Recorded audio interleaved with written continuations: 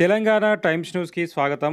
సంగారెడ్డి జిల్లా Patancheru police station పరిధిలో గల రుద్రారం గ్రామ శివారులో గత నెల ఇరవై తొమ్మిదవ తేదీన ఏపీ రంపచోడవరం నుండి మహారాష్ట్రకి షిఫ్ట్ డిజైర్ కారులో రెండు వందల ఇరవై నాలుగు కిలోల గంజాయిని తరలిస్తున్నటువంటి క్రమంలో ఈ విషయాన్ని తెలుసుకున్న పోలీసులు ఈ కారును వెంబడించగా డివైడర్ను ఢీకొన్న కారు దానిలో ఉన్నటువంటి గంజాయిని వదిలేసి పారిపోయారు.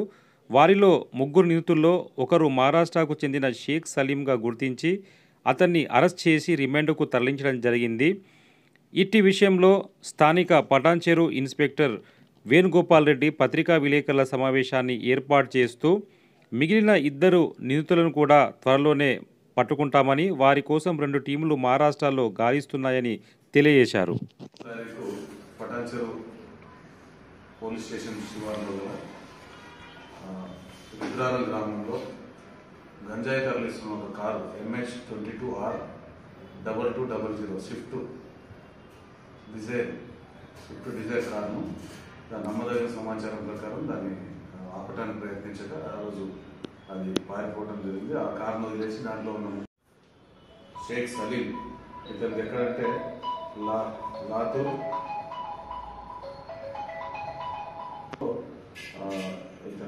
ఆ, అతన్ని అతను ఈరోజు పట్టుకోవడం జరిగింది. పట్టుకొని అరెస్ట్ చేస్తాం. ఈయనతో పాటు అతని తమ్ముడు తమ్ముడు షేక్ మహమ్మద్ అండ్ ఒక ఆకాష్ అనే అతను కూడా ఈ ముగ్గురు కలిసి ఆ రోజు గంజాయిని రంపచోడవరం ఏవో నుంచి రంపచోడవరం నుంచి మహారాష్ట్ర తరలించుకుంటాం మనం ఆపడం జరిగింది. ఇంటర్సెప్ట్ చేయబోగా దాన్ని వదిలేసి కారును రైలింగ్స్ అక్కడ పక్కన రోడ్డు పక్కన గుద్దేసి దాన్ని వదిలిపెట్టి ముగ్గురు పారిపోవడం జరిగింది.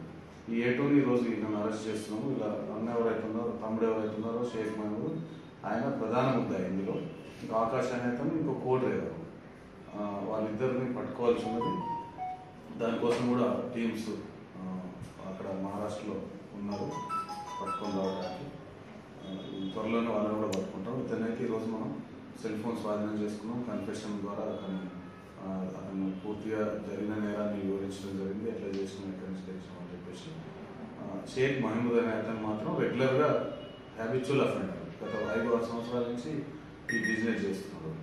మనకు ప్రధానంగా ముంబై హైవే ఉండటంతో ఇక్కడ హైవేలో ఎక్కువగా తరలిస్తున్నట్టు తెలుస్తుంది. నేను చెప్పేదాని ప్రకారంగా దీన్ని కట్టడికి కూడా భవిష్యత్తులో ఇంకా చెక్ పోస్టులు పెట్టడం తనిఖీ చేయడం దాని ద్వారా ఇంకా నిఘా నిఘా పెట్టడం సమాచారాన్ని సేకరించి పట్టుకోవడానికి ట్రై చేస్తాం. మిగతా ఇద్దరిని కూడా తమ్ములను పట్టుకోవడం వాళ్ళని కూడా రిమాండ్ చేసి ఛార్జ్ చేస్తాం ఇతనిపై గతంలో కేసు